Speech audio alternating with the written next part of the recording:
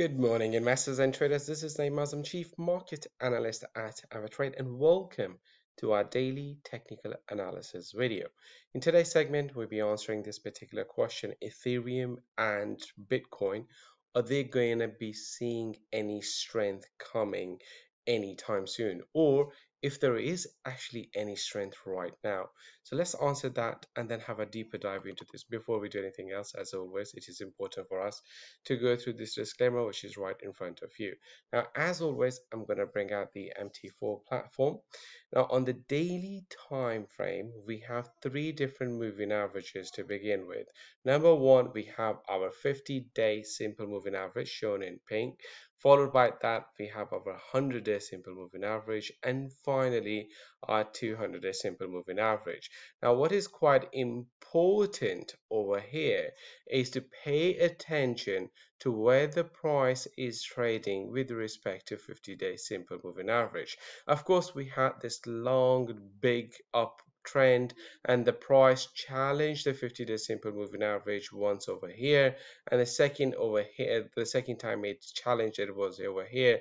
And it was pretty much given that the when the price did come close to its 50 day simple moving average again that the next time it was going to come close it was it is the chances were that it was going to violate that 50 day simple moving average which it did now. Now the most uh, the, the, the concerning element or the factor in relation to Bitcoin price really is that why the price is failing to move back above the 50 day simple moving average. Because surely, if the price cannot break above the 50 day simple moving average, then we are likely to see the price moving further to the downside. Now, how low can the price go? I mean, of course, the first sort of a support level that we are anticipating in terms of a price action is just over here where that uh, big rally we've experienced and it also sort of inlines with the 100 day simple moving average. So if the price cannot go back above the 50 day simple moving average here then we are expecting the price to revisit the 45 to 48,000 sort of a support zone as our first immediate support zone. Now, of course, if the price continues to show a bit more weakness and it continues to move to the downside, then we have to find our next support zone. And our next support zone is right over here. We had the beginning of that big trend that we, we, we saw. And that one, and that means that the prices can go all the way, unfortunately, to 31,000 to 34,000 approximately. Uh, I mean, to, to get the exact levels, I can always just zoom into the chart and then we can see that it is 31,789 to 34,616.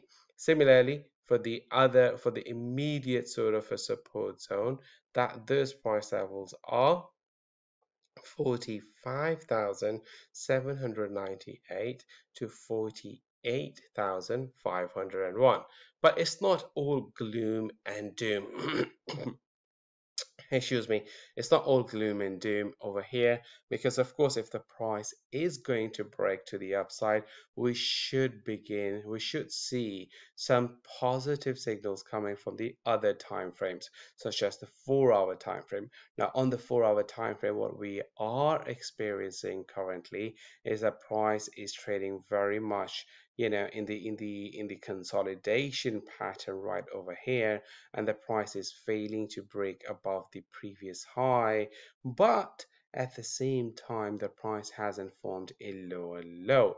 Because this being low this being a higher low so we haven't formed that. So in other words what we could potentially say is the price has formed what we call a symmetrical triangle pattern. So let me draw that uh, symmetrical triangle on the chart to make things a little bit more clear. So this is what we're really talking about. So if the price can break above the highs of this particular line, then we do have a signal that look bull strength is coming back but of course the only strength is actually going to be coming. It will it, will will only witness that when the price breaks above the 50 day simple moving uh, 200 day simple moving average which is trading nearly 57,913 now of course the signal of this one is going to be coming from the 30 minute time frame. Right now on the 30 minute time frame we are still seeing a bit more weakness because the price is trading below all the moving average. So the first sign of strength is going to be coming when the price will move above the 50 day simple moving average on the 30 minute time frame now what about ethereum well, in terms of Ethereum on the daily time frame, the price uh, didn't show that much of a weakness. We only came into this sort of area of support right over here, and the price started to move back to the upside just from from this area of support. And now the fact that the price has already gone above the highs of this particular candle, this red candle over here, and if we have already formed a new high, the chances are that the price will continue to move to the upside from here. So we could potentially again see the price challenging this sort of a price level, which is at 2500. And then from there onwards, we could see the further rally towards that 3000 price level that one that we have talked about previously. So in terms of ethereum yes we are seeing strength. And then if we switch the time frame on the four hour time frame further strength is going to be coming once the price moves back above the 50 day simple moving average. Similarly if we go into a 30 minute time frame what we really sort of need to see is the price uh, the 50 day simple moving average crossing above the 200 day simple moving average and the 100 day simple moving average crossing above the 200 day simple moving average. But overall we can be confident that yes ethereum is much is in a much stronger position as compared to bitcoin. Bitcoin is still prone to some more weakness whereas ethereum it is showing that yes the momentum is to the upside. We are still seeing a lot of positive momentum there that's all for now and please do not forget to subscribe and like the content of course if you find it useful. Thank you